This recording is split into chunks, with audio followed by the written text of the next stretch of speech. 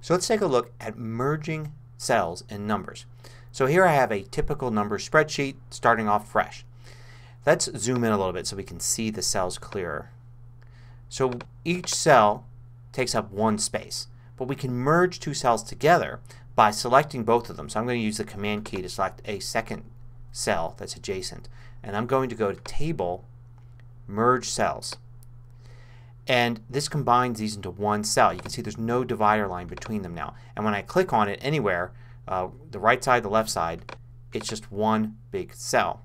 And when I enter something in it, it enters as regular text. But notice that if I center the text, I'll go over here to Text, Center, it'll center in the entire cell here.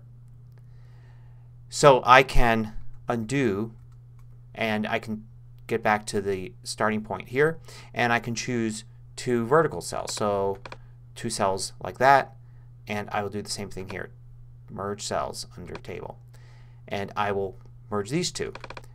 And I can type some text in there as well. I can center this vertically like that and then I can do it horizontally and get it right in the middle there. Now it works for more than just two. I could take all three of these cells for instance and merge those and I get one big cell. I can do it with a whole bunch of verticals. And I get one big cell. I can even do it with a block horizontally and vertically into one big cell.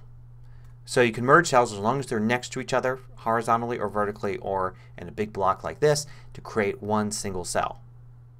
So what happens to the information in the cells when you do this? So for instance I'll put here uh, a number in this cell and I will merge these two cells together.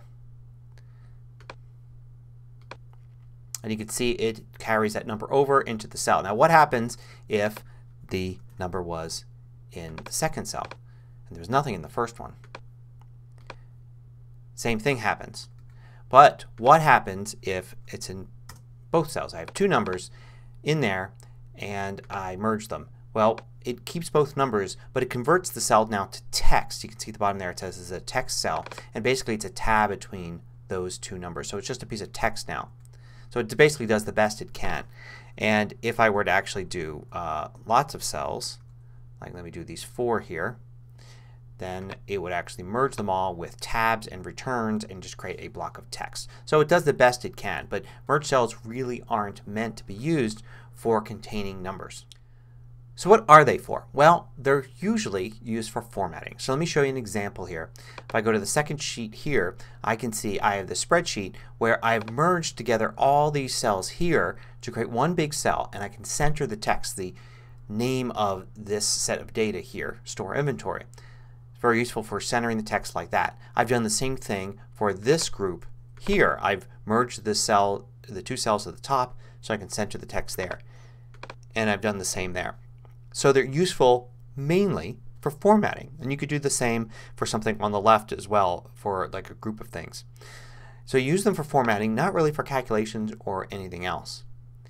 Now, in numbers, why would you want to do this? Because, as I'll show you in sheet 3 here, I've done the same thing but each one's a separate table. Now we often talk about things that Excel, Microsoft Excel can do that numbers cannot. But there are things that numbers can do that Excel cannot. And one of the things numbers does very well is have these sheets that have multiple tables on them. So it allows you to put your data into neat tables with uh, header columns and header rows uh, and with titles. This is the actual title here, not a cell. And Numbers let you do this really well. So you never really need to use the merge cell functionality in Numbers. Matter of fact, I can't think of any reason that you would need to use it if you were just using Numbers. However, a lot of times you create spreadsheets in Numbers that then somebody else is going to look at in Excel or in some other spreadsheet program that does not have this multiple table functionality. In that case, constructing something like this may be more useful, may be more universal, cross-platform, so you may want to consider using it. Or you may simply be getting a spreadsheet that was converted from Excel or some other open format and now you're wondering why the cell is like that. If you want to reverse the merge all you need to do is go to unmerge cells and it will convert them all to individual cells and put the information from the merge cell into the very first one.